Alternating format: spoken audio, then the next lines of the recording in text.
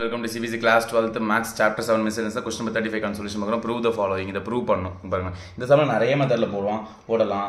ஒவ்வொருத்தரும் ஒரு மெத்தடில் போடுவாங்க. அது வந்து உங்களுக்கு sine two seventy degree value தான் கொஞ்சம் தேவைப்படும். அதுக்கு நான் கொஞ்சம் ஈஸியாக போட்டுடுறேன் ஸோ அது கொஞ்சம் ஈஸியாக பார்த்துக்கோங்க. உங்களுக்கு அப்படி போனாலும் போட்டுக்கோங்க. இப்போ சைன் கியூப் எக்ஸ் நான் எப்படி எழுத போகிறேன்னா sine x into sine square எக்ஸ்னு எழுத போகிறேன் இப்போது sine x into sine square x எப்படி எழுதலாம்? சைன் ஸ்கொயர் எக்ஸ் வந்து இங்கே பாருங்கள் இங்கே போகிறோம் zero to pi by two sine x into sine square எக்ஸா டிஎக்ஸா ஒரு ஃபேமஸ் ட்ரிக்னாமெட்ரி ஃபார்முலா இருக்குது one is equal to sine square theta plus cos square தீட்டான்னு அர்த்தம். ஸோ சைன் ஸ்கொயர் எக்ஸ் வேணும்னா இந்த காசு எப்படி தட்டுங்க one minus cos square x is equal to sine square x இது நமக்கு தெரியும். அதை சப்ஸ்டியூட் பண்ணுறேங்க zero to pi by two sine x into sine square எக்ஸ்க்கு பதிலாக one minus cos square x into dx போட்டுட்டேன். இப்போ இதில் பார்க்க எது கோளாராக இருக்குது. எதுவுமே கோளாராக இல்லை சார்னுவீங்க கரெக்டு தான்.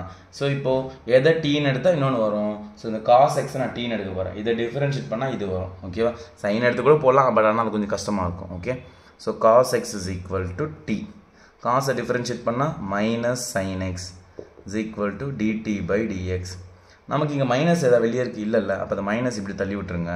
டிஎக்ஸ் இப்படி தள்ளி விட்டுருங்க.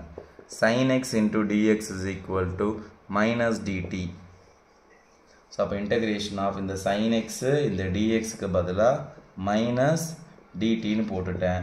ப்ராக்கெட்டில் ஒன் மைனஸ் காஸ் எக்ஸ் ஆனது டி ஸ்கொயர் போட்டாச்சு. இன்டகிரேஷனில் லிமிட் இருக்கும்போது சப்ஸ்டியூஷன் மெத்தட் யூஸ் பண்ணால் லிமிட்டையும் சேஞ்ச் பண்ணணும். மறந்துடக்கூடாது.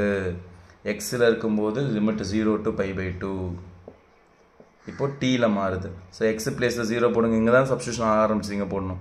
எக்ஸுக்கு பதிலாக ஜீரோ போட்டால் காஸ் ஜீரோ வந்து ஒன்று ஓகேவா நெக்ஸ்ட் எக்ஸுக்கு பதிலாக பை பை டூ போடுவோம். Cos pi by two cos ninety degree value zero zero to pi by two வந்து இப்போ ஒன் டு ஜீரோவாக மாறிடுச்சு. Minus இன்டகிரேஷனாக one dt one dt integrate பண்ணால் வெறும் t integration of one dx என்னப்பா வரும்? சிம்பிளாக டிஎக்ஸ்னு போடலாமா? கேன்சல் பண்ணால் எக்ஸ்னு வருமா? அதே மாதிரி தான் ஒன் டிடியை பண்ணால் டி மைனஸ் இப்போது டி ஸ்கொயர் இன்டெகிரேட் பண்ணால் t cube by three limit என்னது? ஒன் டூ ஜீரோ ஃபஸ்ட்டு ஃபுல்லாக அப்பர் லிமிட் போடுங்க. Zero minus zero cube by த்ரீனா அது ஃபுல்லாகவே ஜீரோ தான். மைனஸ் லோயர் லிமிட் போடுங்க. ஒன் மைனஸ் ஒன் கியூப்னா ஒன் பை த்ரீ தான். ஒன் கியூப்னா ஒன்று தான். ஸோ ஒன் பை த்ரீன்னு போட்டாச்சு. இப்போ இதை சால்வ் பண்ணுவோம். நெக்ஸ்ட் ஸ்டெப் இங்கே வெளியே மைனஸ் இது ஜீரோ மைனஸ் ஜீரோ ஃபுல்லாகவே ஜீரோ தான்.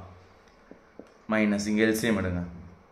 Three minus one by three minus into minus plus ஆகிடும் so three minus one two by three என்ன ப்ரூவ் பண்ணணும் டூ பை த்ரீன்னு தான் ப்ரூவ் பண்ணணும் டூ பை த்ரீனே ப்ரூவ் ஆகிடுச்சு பார்த்தீங்களா மூணு நிமிஷத்தில் ஒரு சம் முடிச்சிட்டோம். இது ஒரு சில பேர் என்ன பண்ணுவாங்க? சைன் கியூபுக்கு ஃபார்முலா இருக்குது ஓகேங்களா? இந்த சைன் த்ரீ எக்ஸ்னு ஒரு ஃபார்முலா இருக்கும். அதுலேருந்து டிரைவ் பண்ணி போடுவாங்க. Three sine x minus sine three x by four அப்படின்னு சொல்லி போடுவாங்க. ஓகே? ஸோ அதை வச்சு தான் கன்ஃபியூஷனாக இருக்கும். ஸோ அதனால் நான் இப்படி போட்டேன் உங்களுக்கு அது ஈஸியாக இருக்கும் பட்டுச்சுன்னா அது கூட போடுங்க. ரெண்டுமே கரெக்டாக தான் சேம் ஆன்சர் தான் வரும். ஓகேவா? நெக்ஸ்ட் நெக்ஸ்ட் பாய்